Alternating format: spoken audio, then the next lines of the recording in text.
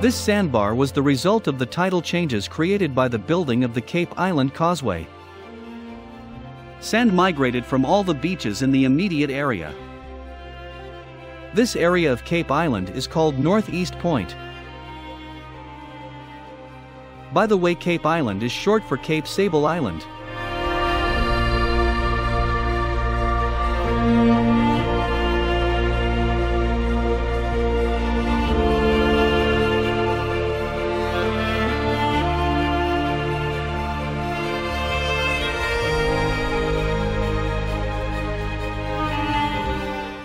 Shown are the remains of the old ferry terminal.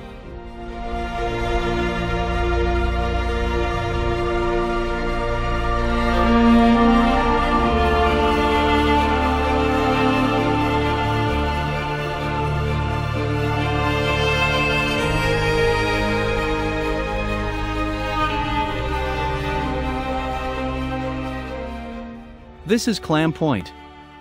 There are two secluded crescent beaches here. Most people are not aware that these beautiful beaches even exist. That's too bad.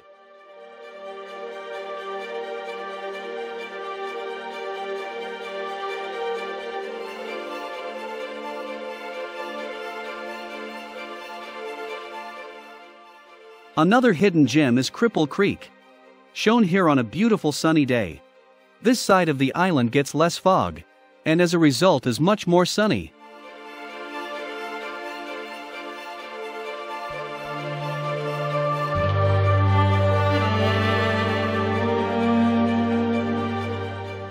A nice safe haven for lots of Cape Islanders. Shown here tied up at the Cripple Creek Wharf.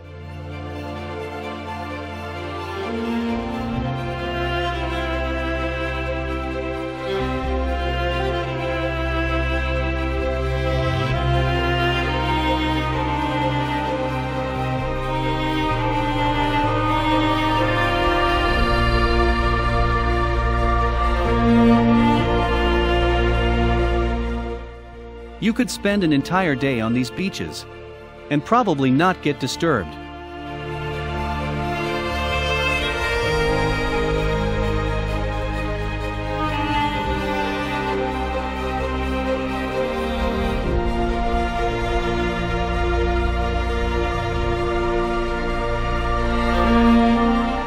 This is the Stony Island Beach. A great favorite for dog walking. Or just a quiet place to rest.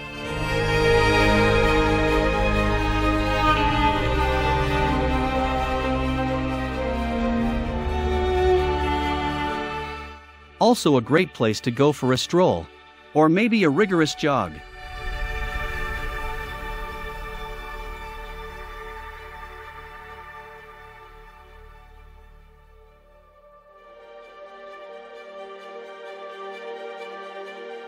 Maybe not so quiet, but lots of fun.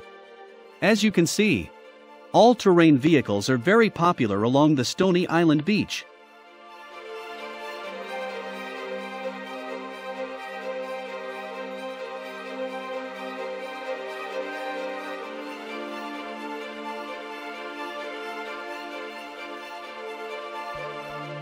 Here we see the Southside Beach which is just south of, and not far from the beach at Stony Island. Just off the main highway is the road leading to Daniels Head. Located here is the Southside Wharf and a local fish processing plant. Also you will find some old, but picturesque fishing piers, many falling into disrepair. A small fleet of Cape Islanders call this their home.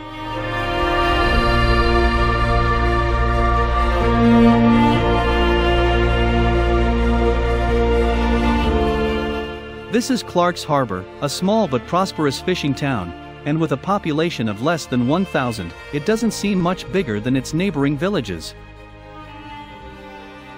This is the main town wharf, originally named the Kenny Wharf, but there are two others, a small one at Swims Point and a much larger one at West Head.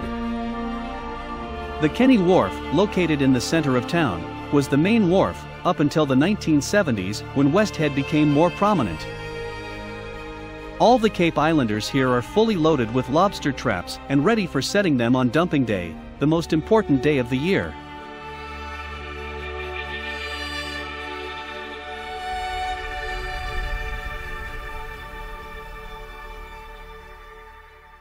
Seen here is a view of Cape Sable, locally known as just the Cape. This view is taken from above the Swims Point Wharf.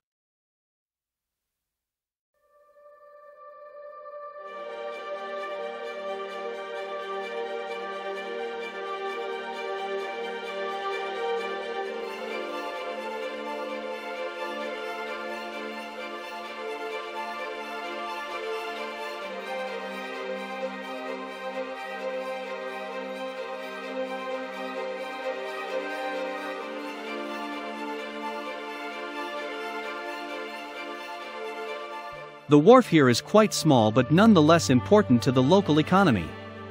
A busy fish plant is located here as well.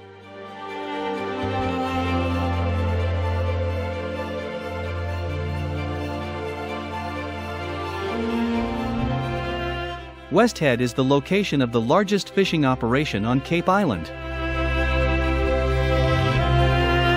It is also the newest, having grown to its present size over the past 40 years.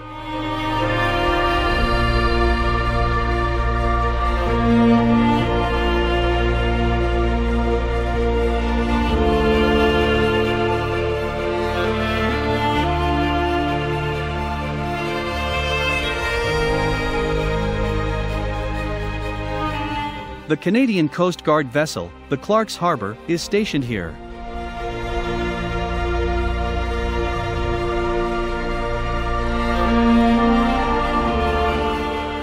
The first Coast Guard coastal rescue vessel, the 101, was originally stationed at the Kenny Wharf.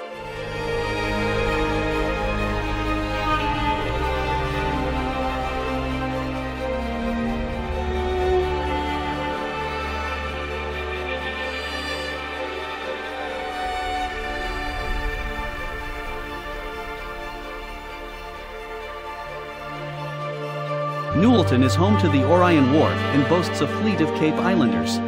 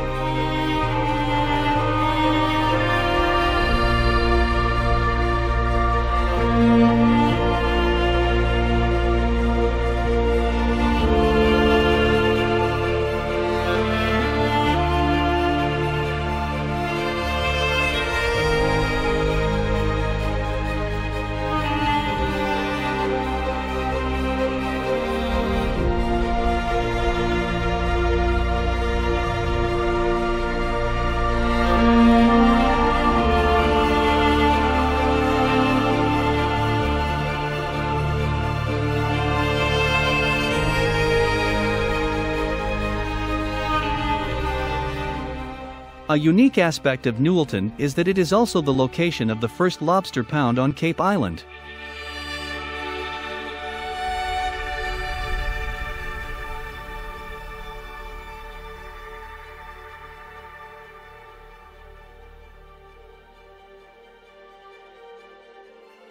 The Hawk is the most southerly inhabited landmass in Nova Scotia. Only the Cape, which is uninhabited, is further south. It is technically an island, separated from Cape Island by the Guzzle.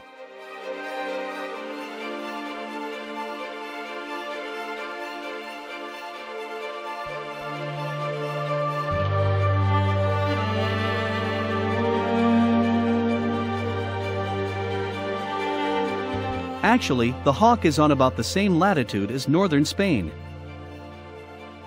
The beach at the Hawk is one of the most popular and easily accessible by car.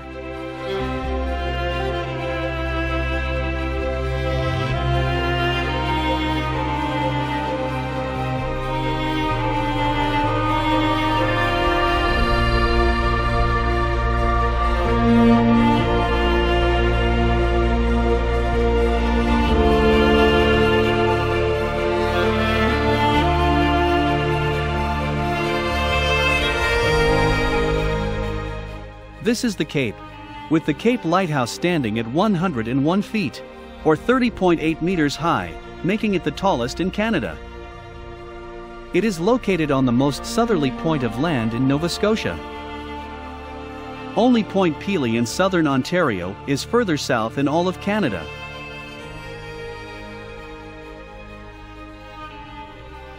This is a south-looking view of the Cape taken from above the Hawk.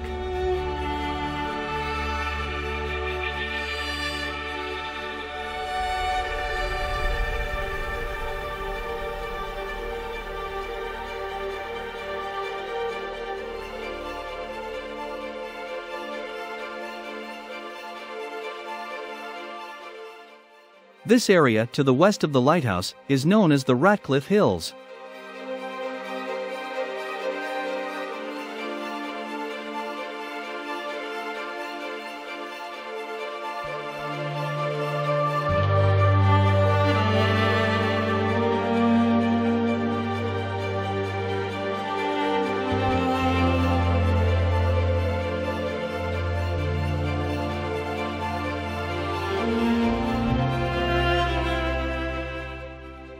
In the distance is Fish Island with Fish Inlet flowing between it and the Ratcliffe Hills.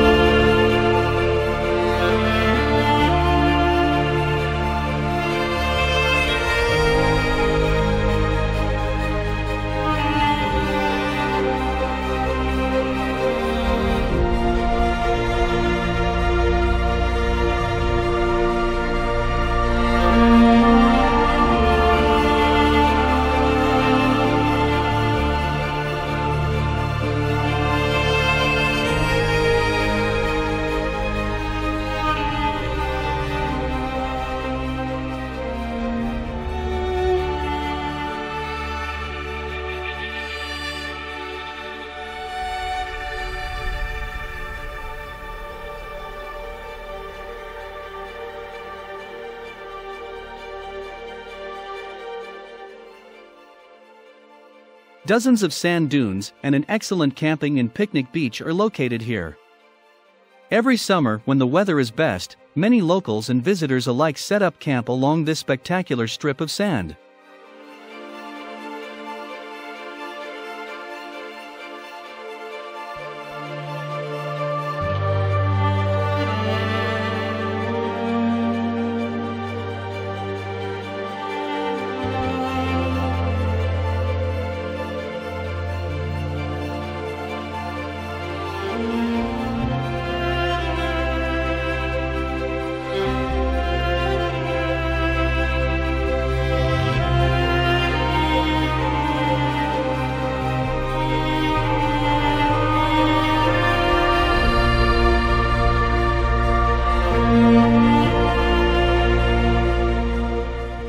In 1988, the Canadian government designated the Cape Sable Lighthouse as a National Historic Site.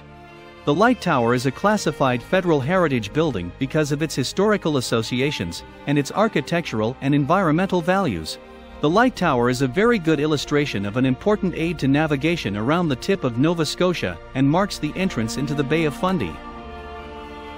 This small clump of stunted trees is locally known as the forest. You're not likely to get lost here, but it's a great birding site.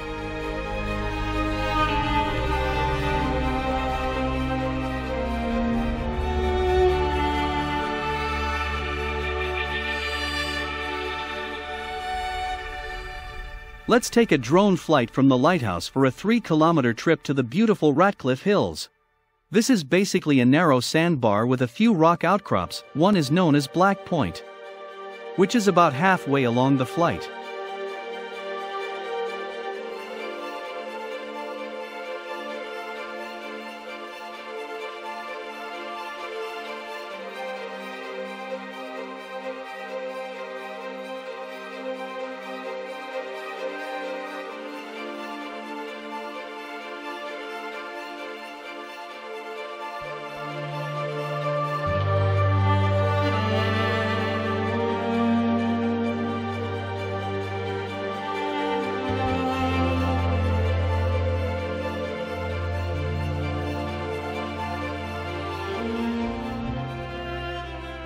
As the sun sets in the west, let us say a fond farewell to a unique and historical patch of rock and sand.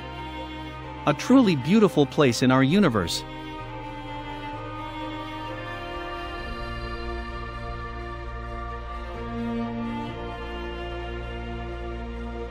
This video is dedicated to the hard-working and good people of Southwest Nova.